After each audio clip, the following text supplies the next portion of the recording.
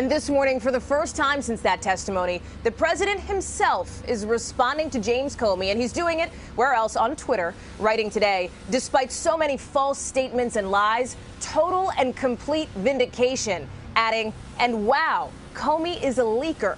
The president picking out the parts he prefers from Comey's testimony, but implying much of the rest of what Comey said under oath wasn't true. We will hear from the president in person later today in the Rose Garden, where he's set to hold a news conference and likely try to take a kind of victory lap. This morning, Team Trump arguing James Comey didn't deliver a knockout blow after his pull no punches testimony. Those were lies, plain and simple. That pushback coming against the president's claims Comey was fired partly because of low morale at the FBI. I know I was fired because of something about the way I was conducting the Russia investigation was in some way putting pressure on him in some way irritating him and he decided to fire me because of that. The president's son saying his father is ready to move on. And I think now that this is all past, he can go back to doing what he promised he was going to do. The president not saying whether he believes Comey told the truth. Do you think he told the truth to the Senate? But his lawyer did, zeroing in on Comey's claims the president asked him to let Flynn go, referring to fired National Security Advisor Michael Flynn. The president never, in form or substance, directed or suggested that Mr. Comey stop investigating anyone the president also never told Mr. Comey, quote, I need loyalty.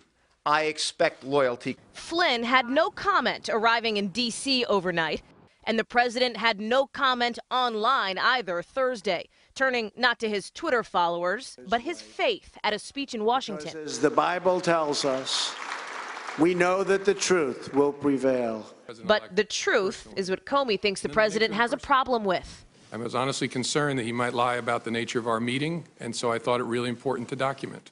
Comey acknowledged during his tenure the president was not under investigation and that the president did not try to stop the FBI's Russia inquiry. Comey was less conclusive when it came to their conversation about Flynn.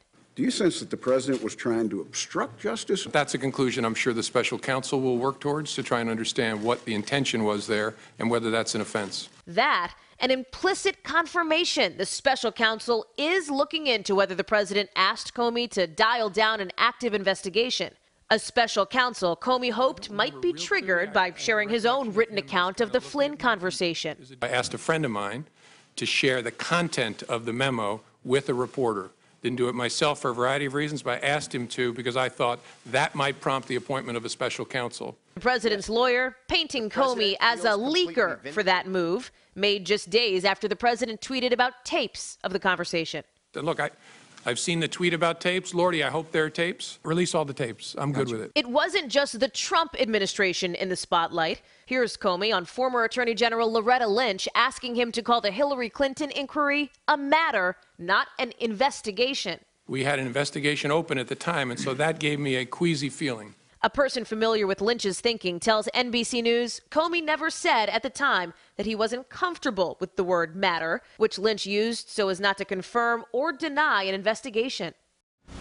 The Senate Intelligence Committee expects top presidential advisor and the president's son in law, Jared Kushner, to meet with committee staffers this month. Two sources familiar with the planning are telling NBC News. The committee expects that Kushner will meet with staff, he'll provide documents, and ultimately take questions from the senators, the two sources said, although a third source says that the timing conversation is still ongoing. All of this an indication that despite the president's claims he's been vindicated, the Russia investigation will remain front and center. Matt, Savannah. All right, Hallie Jackson, thank you very much. Hello, Today fans. Thanks for checking out our YouTube channel. Subscribe by clicking that button down there and click on any of the videos over here to watch the latest interviews, show highlights, and digital exclusives.